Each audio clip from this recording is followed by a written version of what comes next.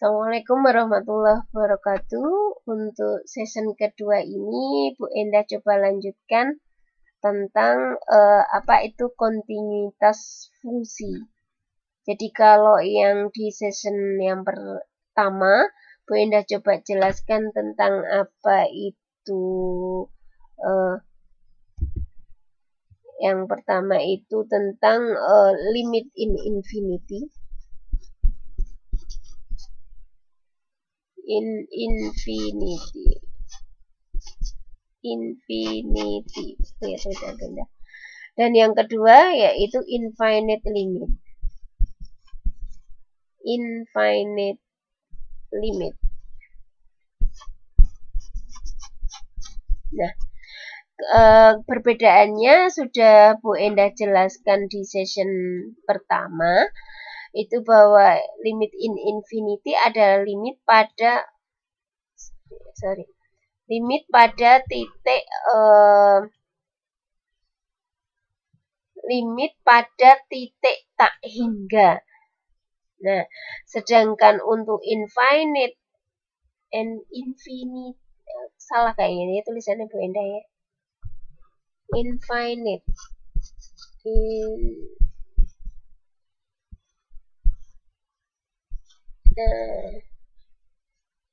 Nah, seperti ini. Infinite limit.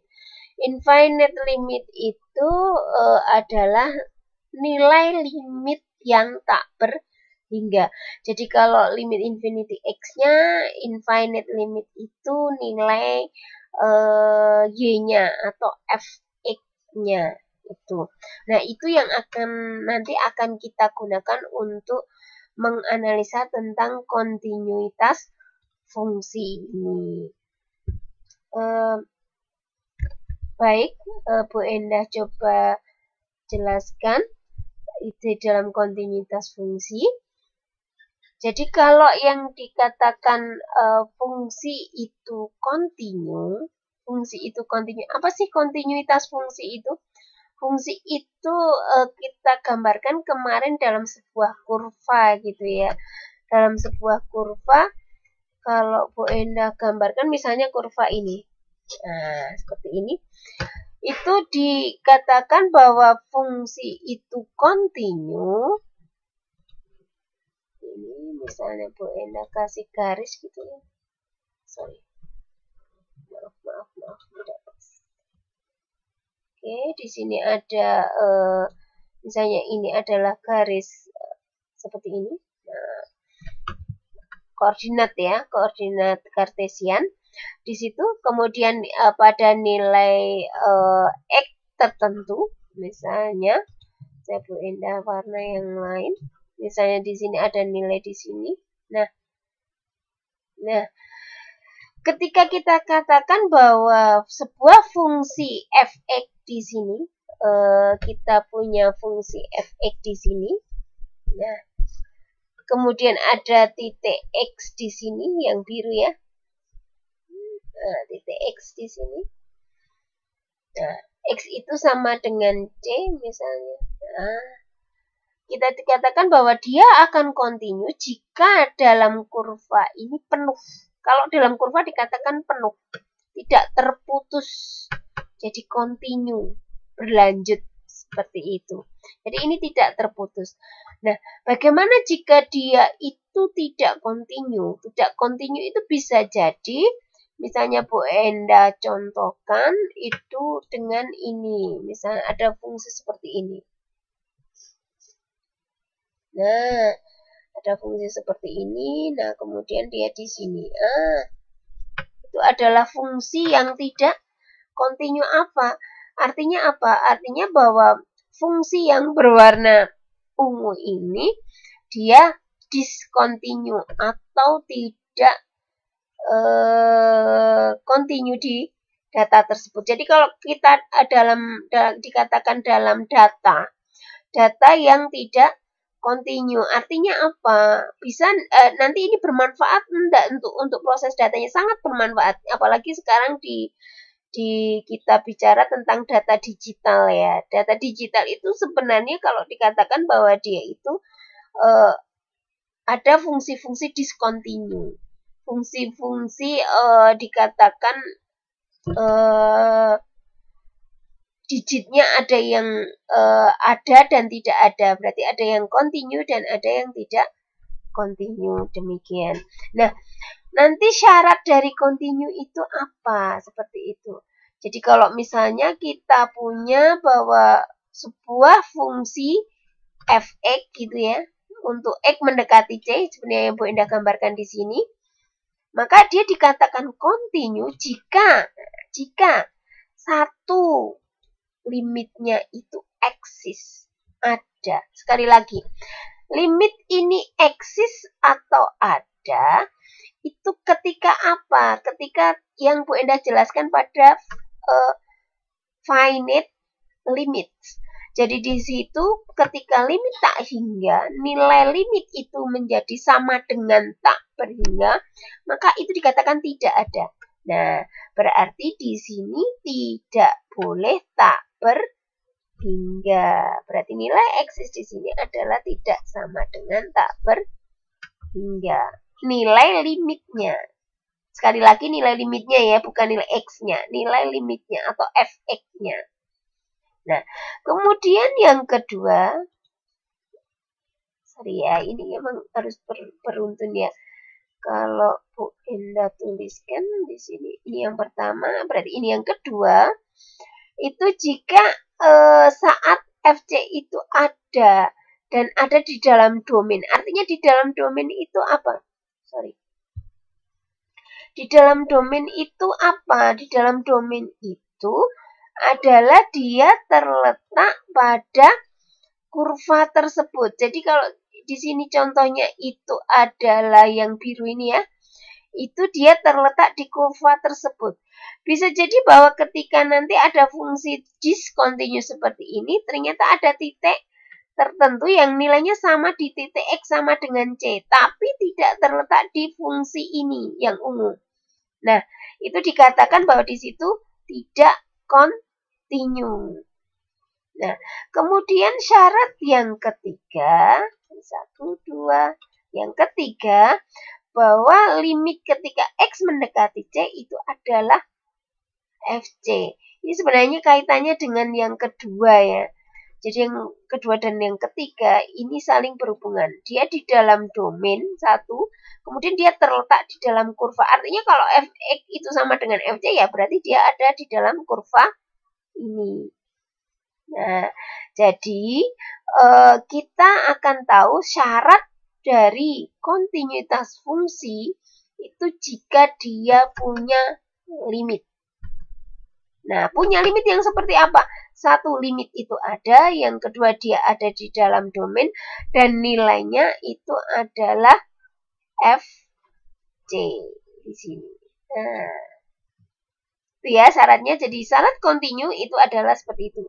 Bagaimana dengan contoh yang ungu ini? Nah, kalau contoh yang ungu ini kalau titik ungunya itu ada di dalam kurva, masuk di dalam kurva, maka dia continue. Jika tidak, maka dia tetap dikatakan tidak continue seperti itu. Nah, contoh yang lebih detail lagi yang seperti apa gitu kan? Itu Bu Endah contohkan di sini. Nah, kalau dikatakan bahwa limit itu tidak ada atau tidak eksis, itu gimana? Ya seperti ini. Artinya apa? Bahwa dia eh, fungsi yang di pada titik C itu menjadi tak berhingga. Jadi dia tidak continue. Karena apa? Tidak sama. Tidak sama dengan FC. Seperti ini, ini tidak continue. Nah, di sini ini titiknya ini ada, titiknya ada. Sebenarnya ini bukan not apa full ya. Ini adalah uh, bisa dikatakan anu ya, dot tapi full gitu ya. Kemudian kalau di sini ini ada, tetapi dia tidak terletak di kurva. Itu juga dikatakan discontinue. Nah, kalau yang bentuk yang ketiga ini, dia dikatakan continue. Karena apa? Continue. Bersambung gitu ya. Menyambung. Nah, kalau di sini ada ada lubangnya, di begitu juga di sini ada lubangnya. Kalau di sini, kalau dia ada di dalam kurva, limitnya ada sama dengan C, ada di dalam kurvanya, maka dia dikatakan continue. Demikian. Jadi cukup jelas ya. Nah, akan Bu Enda berikan contoh lagi uh, seperti apa. Nah, kalau nanti kita diminta menganalisa bagaimanakah kontinuitas fungsi ini seperti itu. Dia akan continue di mana seperti itu. Nah, berarti kita harus harus tahu oh, berarti ini ada x-nya, ini ada y-nya gitu kan ya. Dia akan continue saat misalnya. Dan kalau ditanyakan e, tolong analisalah kontinuitas dari e, fungsi tersebut misalnya. Terus bagaimana kita kita me, menjawabnya ya? Berarti fungsi fx lampu indah ini ya. Oke. Jadi kita bahwa fungsi fx itu akan continue continue pada kurva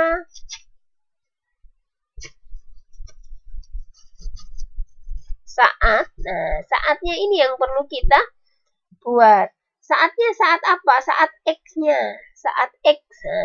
X-nya, sorry maaf. Benda ulang ya. Jadi uh, ada fx itu akan continue continue pada saat x Nah, saat apa? Nah, kalau dia akan continue di sini. Oh, dia antara tak berhingga sampai uh, titik nol. Tapi nolnya ikut enggak? Tidak. Nah, berarti berarti dia akan continue saat. Nah, tapi nolnya tidak ikut. Oh, berarti dia saat bisa kita katakan lagi. Oh, ini fx-nya nah, saat x-nya itu antara tak berhingga sorry tak berhingganya ikut enggak tak berhingga nah, tak berhingga itu kemudian di sini ada x kemudian dia mendekati 0 nolnya ikut tidak? Tidak karena dia nilainya tak berhingga di sini. Kalau di sini mendekati satu berarti berhingganya ikut ya. Nah kalau di sini 0 berarti apa mendekati mendekati 0 itu nilainya tak berhingga berarti tidak ikut nah berarti di sini dikatakan berhingganya ikut.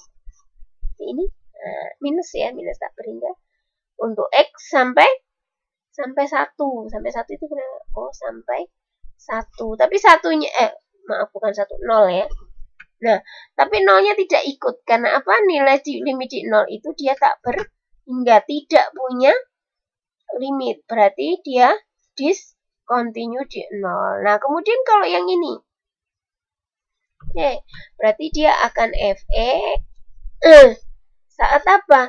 Saat antara 0. Nolnya ikut enggak? Tidak. Kan seperti itu. Dari X sampai berapa? Oh, sampai pada titik 3. Tiganya ikut tidak? Oh, dia discontinue tidak. Oh, berarti tiganya tidak. Nolnya juga tidak ikut. Kemudian ada lagi yang di sini. Kurva ketiga. Jadi ini kurvanya ada 1, 2, 3, 4. Seperti itu ya.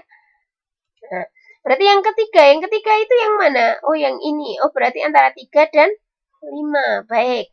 Berarti saya tuliskan yaitu FE ini antara berapa? 3 dan 5. 3 dan 5. Kemudian ada X. Tiganya ikut enggak? Oh, dia ikut karena di sini ya. Di sini juga ada. Oh, baik. Berarti di sini lebih kecil sama dengan ini lebih kecil sama dengan seperti itu. Nah, ada satu lagi. Ini baru kita baru uh, satu, dua, tiga. Sekarang yang keempat ya Bu Indah letakkan di sini. Nah, yang keempat bagaimana? Oke, berarti kita masukkan dia uh, sebagai FE untuk apa? Nah, untuk dari di antara 5 E kemudian sampai ke tak nilai X-nya tak ber hingga. Tak beringganya mendekati berapa? Mendekati nol. Oh, berarti ada. Berarti tak beringganya ikut. Nah, kemudian kalau limanya ikut enggak? Enggak, berarti lebih kecil. Demikian. Jadi kalau kita diminta menganalisa kurva seperti ini, maka kita harus tahu bagaimana menganalisanya. Kita lihat bahwa di titik kalau nilai limitnya itu tak berhingga berarti dia discontinue. Tidak ikut gitu ya. Itu lupa berarti discontinue. Kalau dia ada dotnya berarti dia continue. Perhatikan di uh, apa di bagian-bagian batasannya. Baik, itu yang uh, contoh yang ini. Bagaimana jika ada contoh seperti ini? Nah, Bu Enda berikan contoh yang yang lain. Ini ada di buku uh, buku juga. Contoh dari soal problem set berapa ya? Bu Enda agak lupa. Problem set dan nomor 10. Bagaimana jika kita harus mencari limit ini? Uh, bagaimana kontinuitas limit dari fungsi tersebut. Nah, fungsi tersebut. Nah, kalau kita diminta untuk uh, maaf, ya. Nah, jadi kalau seperti itu kontinuitas fungsinya kontinuitas fungsinya fx gitu ya.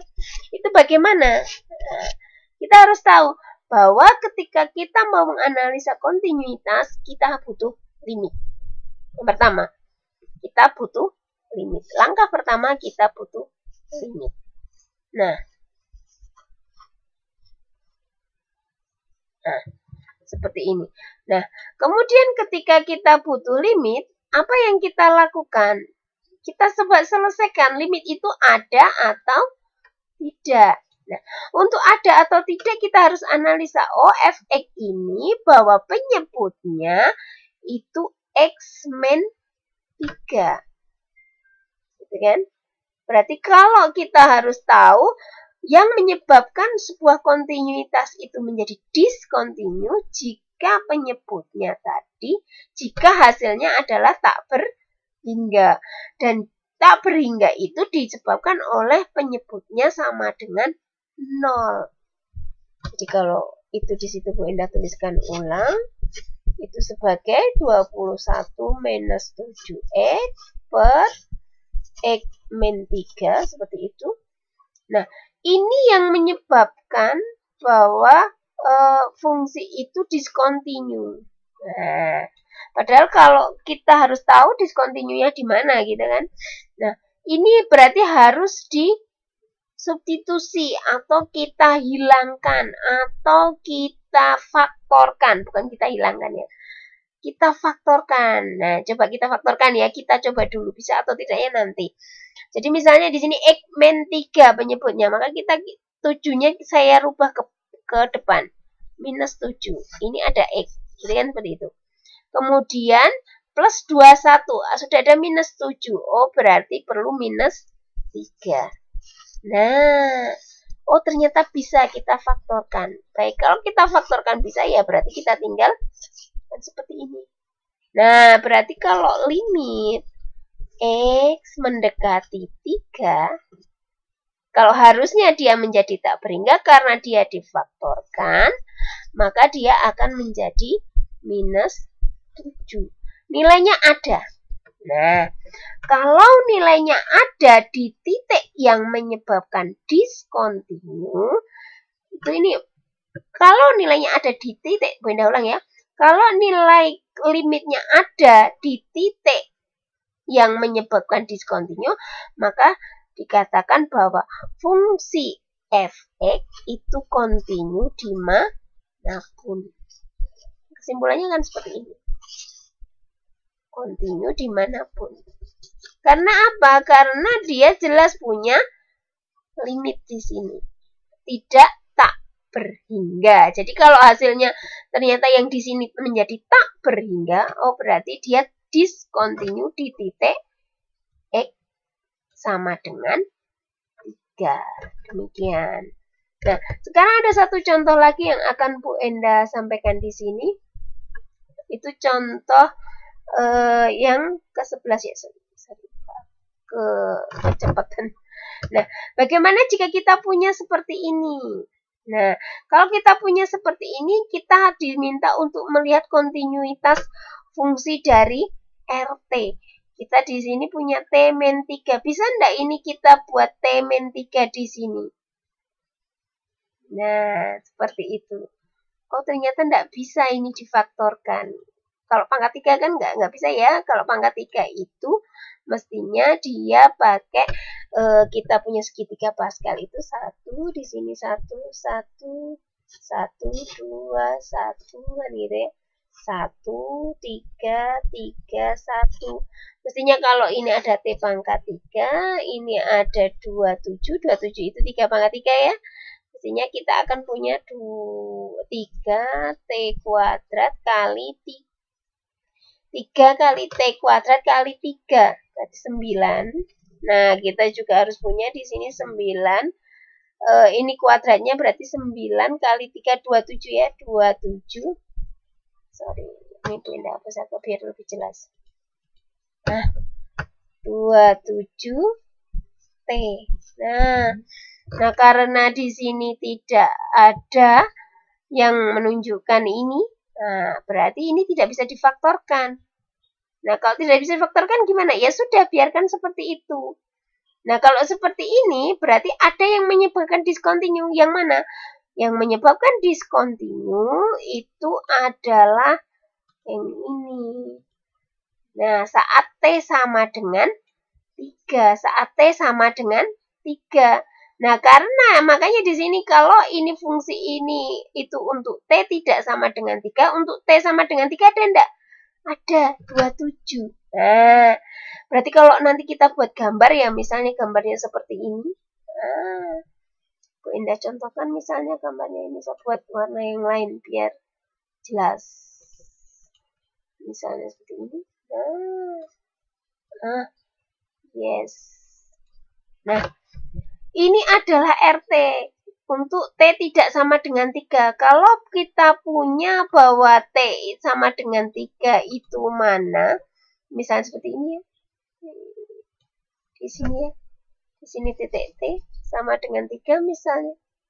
Nah, oh, mana Bu Endang masa ini ya. Jadi, ah, di sini, di sini T sama dengan 3 Nah, karena dia dia tidak tidak tadi discontinue berarti ini lubang ya. Jadi kalau Bu Endah tuliskan biar hilang dulu. Nah, ini T sama dengan 3, kemudian ini lubang ini. Nah, nah, kemudian kita cari tahu, oh kalau dia itu sebuah fungsi yang hanya atas saja, maka dia akan discontinue di titik sama dengan T sama dengan 3. Nah, kalau di sini ternyata ada fungsi lagi. Dia untuk T sama dengan 3 itu 27.